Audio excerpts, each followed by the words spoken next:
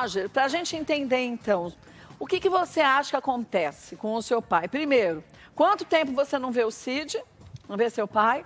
E você acha que alguém, não estou dizendo a Fátima, qualquer uhum. pessoa ali, pode esteja assim blindando o Cid para que ele não fale com você, com o outro filho, com o Rodrigo? Ou você acha que realmente ele não quer mesmo e ele deixa as outras pessoas falarem para assim facilitar, ficar mais fácil para ele, para ele não se expor tanto perante também a mídia?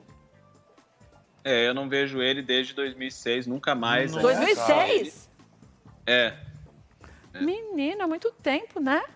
É bastante tempo, né? Desde, desde, desde essa data, nunca mais eu tive nenhum contato com Nossa, ele. Ele foi totalmente anos. blindado pela, pela Fátima. Totalmente blindado. E por diversas vezes você tentou falar com ele, tentou ir lá e Diversas, o que, que eu tenho, eu tenho, até posso mandar para vocês os e-mails, né? Que inclusive eu tive essas respostas por e-mail porque eu tentei manter contato com ele por e-mail, que era a única coisa que eu tinha era o e-mail. Então eu mandava e-mails de feliz aniversário, mandava e-mails de Páscoa. E nada ele né? respondia? E, às vezes sim, às vezes não. Né? Às vezes ele respondia, às vezes ela respondia, até que então, um belo dia, chegou este e-mail que ele não queria ter contato nenhum comigo, não gostaria que as pessoas soubessem que ele tinha contato Ué? comigo e que ele tinha feito esse documento para me dizer dar aí. Por que, que ele não queria que as pessoas soubessem que ele tinha contato contigo? Eu, é isso que eu quero, Kátia, é isso que eu quero entender. É isso que eu quero. Eu quero saber por quê. Eu quero que ele venha e fale, porque ele está se escondendo, mas não precisa, né? Não, não é segredo de justiça para falar da sua vida, né? Não. Ele não quer falar, ok, é porque ele não tem o que falar, né? Mas, mas eu vou te falar uma coisa. Quer dizer, é... até tem, de repente não possa, né? Sim. Não possa o quê? Falar? falar. Não, ele está falando bem. Porque faz uns dois anos, mais ou menos. Não, eu falo, não possa falar não possa sobre falar o assunto, o assunto né? motivo, ah, talvez. Ah, mas se pela o justiça. Motivo, né? Mas peraí, se pela justiça ele poderia falar então, se ele não pode, é porque alguém fala para ele não falar, mas não, não assim, ele não pode seguindo a justiça. Ah, porque a vontade dele, porque, né? Ele é, não quer, vou, tipo, dar um é, motivo e falar, ah, foi eu, por isso. É, eu falei que ele está falando muito bem, que faz uns dois anos, uhum. a gente foi com o Sidney, por sinal, um beijinho pro Sidney, a gente foi lá para o Moarama. Ah, falou. E aí foram vários apresentadores de várias uhum. emissoras, foi o, foi o, João Kleber, o João Kleber foi o Edu, foi o Bate, uhum. foi o Geraldo, foi o Serginho, o Malandro, e ele estava lá também, o Cid. E Cid junto com a Fátima. E a Fátima, de fato, cuida dele, estou dizendo assim, separando as situações, não estou dizendo nada assim diretamente, Roger. Zela Sim. por ele muito bem. Mas, ao mesmo tempo, eu via que tudo ele perguntava para ela. É, a gente fala, pode fazer uma foto? Ele, Fátima, pode fazer a foto? Né? Ela falou, ah, pode. Aí, você quer uma água? Ô, Fátima, posso tomar uma água? Então, às vezes, é, cria-se uma dependência emocional Sim. e mais prática também para a pessoa. Ele está com 93 anos não. hoje, mas há 15 anos atrás não tinha 93 anos. Não. Então, não estou dizendo que ela manipula nem que ela não manipula. Estou dizendo que talvez ele também ache mais fácil para ele, nesse momento, terceirizar certas coisas. Sim. Então, ele vai perguntando para ela o que ela acha interessante. Para ele, ele segue.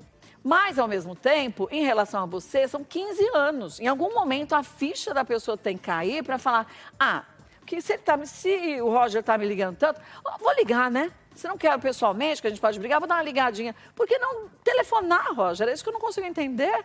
É, também não existe briga também, porque o nosso relacionamento então... foi sempre muito, foi sempre muito bom, foi sempre muito bom, muito bem, né? A gente jogava tênis todos os dias, a gente bebia juntos, gravava juntos tinha uma vida, viajava juntos para fora, para Disney, para cá, para Las Vegas, para vários lugares. Então eu não entendo mesmo o porquê, porquê do afastamento.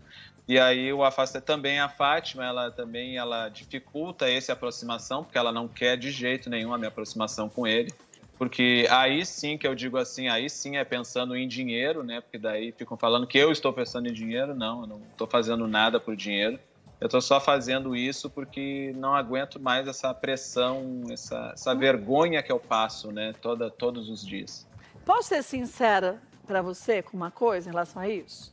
É fácil claro. também a gente pensar que a Fátima manipula tudo e que Sim. o Cid é coitado, porque não é. Não. Porque ao longo de 15 não. anos, né, ele também não fez mesmo. uma escolha. A escolha Sim. dele foi seguir o que ela falava. Porque Senão ele não teria chegado onde ele chegou. Porque uma pessoa que é, que é assim, marionete, que ouve todo mundo, não chega onde ele chegou. Exatamente. Então é uma pessoa que sabe muito bem o que quer, que tem foco, que vai atrás, que tem firmeza no que deseja. O que eu acho muito positivo, não estou achando negativo. Então eu acho que também não dá para a gente falar que a Fátima seja só errada ah, nessa situação. É. Porque não, falei, é cômodo para ele, em muitas situações também. Hoje com 93 anos, mas há 15 anos ele não tinha 93. Não. Não, não mesmo. Né? Sabe por quê, Kátia? Porque isso é reincidente. Ele não fez isso somente então... comigo. Ele fez com a filha biológica e fez com o filho biológico. e a Fátima não é. presenciou essa, então. não presenciou essa parte da vida dele. Né? Verdade. Tem pergunta para fazer, Cintia? Eu acho, Kátia, que uma questão assim que o Roger está colocando bem em pauta é a questão financeira, né? Então, claramente a gente tem informações de que realmente o Cid Moreira não estaria senil, então, assim, é uma pessoa gozando né, da sua saúde mental.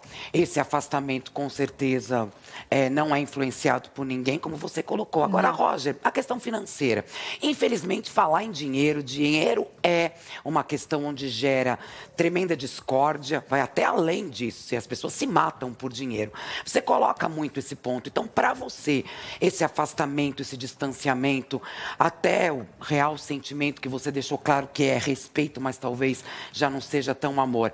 O dinheiro está sendo a real razão de tudo isso?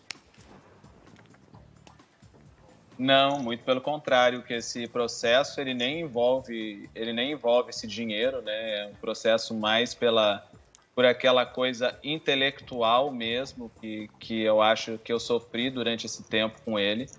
E eu falo muito nessa questão do, do dinheiro, porque tem muitas pessoas que estão vendo isso somente como dinheiro, até porque eu não preciso do dinheiro dele para sobreviver e não preciso de depois de todo esse tempo que eu já me sustento sozinho, né? Então eu não preciso dele para nada. É, o, é aquela falta de amor e de carinho mesmo Sim. que não se teve e, e essa coisa que a gente passa de é filho, não é filho. Sinceramente, para mim seria mais fácil eu não ser filho agora nesse momento do que ter um pai assim dessa maneira. Eu acho que pelo que eu entendi, veja se eu estou entendendo certinho, o que você quer é um reconhecimento até que ele mesmo diga da boca dele. E a gente abre nosso espaço para o Cid, para o Cid, se ele quiser falar. Porque a Fátima não adianta. A gente quer falar com o Cid. Porque se a história é do Cid com o Roger, então é com o Cid. O Cid que tem que falar. Eu acho que o que você está buscando é ouvir dele. Eu não quero mesmo, eu não vou fazer, porque você fez isso, isso, isso. Aquele porquê por que, que você fez isso? Por que, se você me adotou? Por que, se a gente vivia tão bem? Por que? O que eu fiz que mudou? Porque é aquela pergunta que qualquer um faz, né, Roger? O que eu posso ter feito que eu não percebi que gerou o oposto dessa história toda? E essa falta é. de resposta deixa a gente meio, meio assim sem entender, meio assim, perdido. Sim. Tentando toda hora procurar, buscando um porquê dessa finalização assim, né? E outra coisa que eu deixo aqui bem claro, se ele, caso ele queira né, falar comigo e a gente se encontrar novamente, esse processo ele pode deixar de existir no primeiro momento, porque a intenção dele não é essa, né? A intenção dele não é essa. A intenção dessa é porque eu fiz isso porque era a única maneira de fazer alguma coisa, sabe? De, de tentar entender o porquê das coisas, né? Não, é isso que eu não entendo. Então eu deixo aqui, se ele quiser, claro, a gente pode sempre voltar atrás no que a gente fala, no que a gente, né? Todo mundo merece, né? Uma chance. Inclusive ele mesmo narra muito na Bíblia, né? Em relação ao amor, que o amor tudo supera, o amor tudo suporta, né? Então vamos, vamos deixar o amor, né, passar por isso e botar uma pedra em cima disso, né? É verdade. Agora eu vou te falar uma coisa de experiência própria. Eu acho que você falou muito bem, vamos fazer, dar uma segunda chance. Só que você está dando a segunda chance, mas a gente também tem que, às vezes, entender que a nossa parte quer uma segunda chance, mas a contraparte não quer uma segunda chance. E que aí, se isso de fato acontecer, se você vê que nem assim, você conseguiu que ele ligasse para você, que vocês conversassem, ou que te chamasse para ir lá, e vocês só esclarecessem isso, quer um conselho? Bota uma pedra nisso, para você tocar a sua vida e você não continuar com aquele sentimento ainda dentro de você, porque isso faz muito mal para gente, de experiência própria. E aí tem hora que a gente está falando, tudo bem eu dei uma segunda chance para mim e para ele. E ele não aceitou minha parte eu fiz. E quanto à parte da justiça, mesmo que você depois não queira o dinheiro para você, da sua parte legal, você doa, faz outra coisa. Mas se é seu de direito, a gente tem que fazer o que a gente acha correto. Se você ah, é filho, outra... você tem que ter direito Só ao que é deixar... essa partilha Certo. Só para deixar que esse processo ele não envolve herança também, tá? Não Sim. tem nada a ver não, com eu sei, herança. Não, eu sei, mas digo porque ele te deserdou, né? E como Sim, não é. existe é, isso no Brasil é de deserdar, né? gente... é isso que eu estou dizendo. Vai ser sua, né? entendeu? Né? Não existe é. isso, então estou dizendo é, justamente nesse daqui, se Deus quiser, 20 anos, nesse pós-morte aí dele, para a gente poder saber o que é certo de se fazer, o que a justiça manda.